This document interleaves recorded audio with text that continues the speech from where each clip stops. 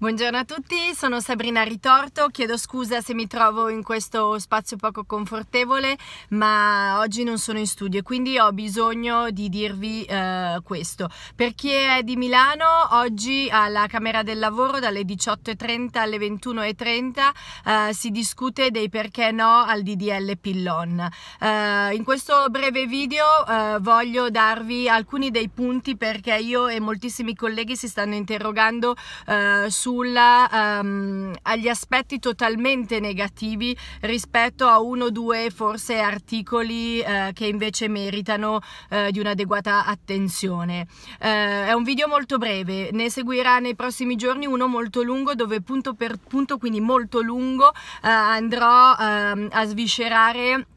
gli aspetti non soltanto da un punto di vista sociale ma da un punto di vista giuridico e psicologico. Questo ha richiesto a me molto tempo insieme ai miei colleghi dello studio associato 6 in Equip proprio per dare una multidisciplinarietà ad una visione che eh, il decreto invece tra- tronca totalmente. Allora i motivi per cui reputo, reputiamo che questo decreto vada di, scusate disegno di legge DDL disegno di legge vada assolutamente ripreso e eh, ricontestualizzato contestualizzato è, eh, sono eh, uno sbilanciamento totale verso gli adulti a discapito dei minori e se dobbiamo andare a dire quali adulti eh, a discapito della donna rispetto all'uomo.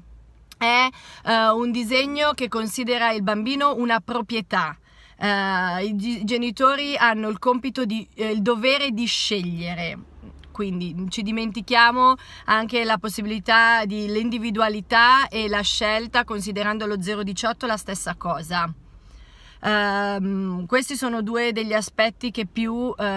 mi premono. Il terzo viene completamente annullata la volontarietà, cioè la possibilità delle persone, per di più in un momento in un momento di difficoltà di poter essere messi di fronte ad una libera scelta e quindi a una volontà di scegliere e di essere responsabili sin da subito delle conseguenze delle proprie azioni.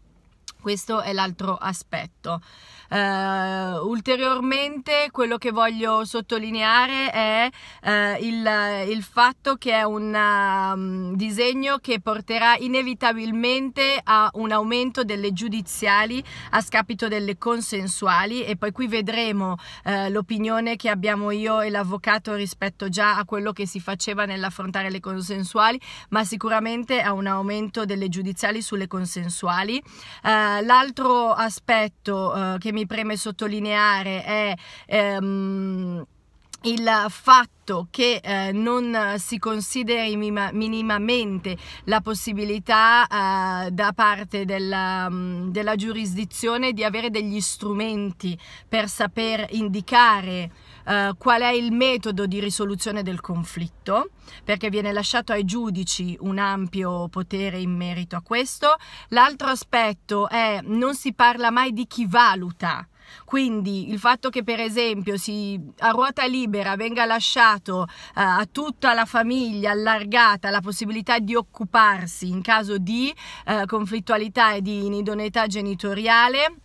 questo è un termine che dico io, poi nel disegno invece viene usato addirittura un altro termine che secondo noi è sbagliato, però Siccome si è parte della famiglia abbiamo tutti il dovere e il diritto di occuparci dei bambini e se non c'è nessuno nella famiglia anche la comunità, eh, le persone intorno a noi. Quindi non si cita minimamente chi fa che cosa, quando e perché, con quali strumenti. Quindi questi sono alcuni dei punti che vorrei poi eh, sviscerare in maniera assolutamente appropriata rispetto adesso con il testo davanti, magari leggendoveli e parlarne eh, nello specifico. Eh, è una sollecitazione, una provocazione per chiedere a chi è oggi a Milano di andare pure in Camera del Lavoro ad ascoltare i lavori e eh, chi eh, non è tecnico, quindi genitori, eh, ascoltate questo video, andate a prendervi il disegno di legge che è assolutamente scaricabile, parlatene con i vostri legali, confrontatevi con chi si occupa di separazione